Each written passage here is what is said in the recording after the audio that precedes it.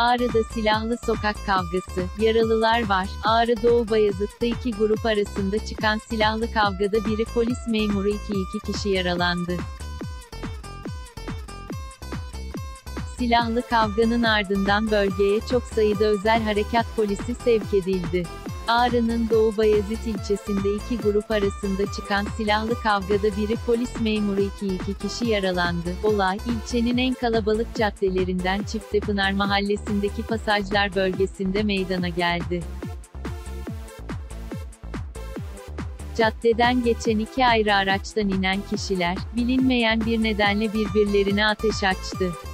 Olayda, bir kişi silahla vurularak, yaralandı. Bu sırada caddede bulunan bir polis memuru ise olaya müdahale ederken, çevrede toplanan bazı kişiler tarafından darp edildi.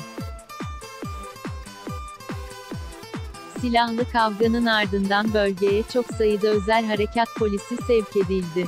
Kavgaya karışanlardan silahla vurulan kişi ile darp edilerek hafif yaralanan polis memuru, bölgeye çağrılan ambulansla doçent.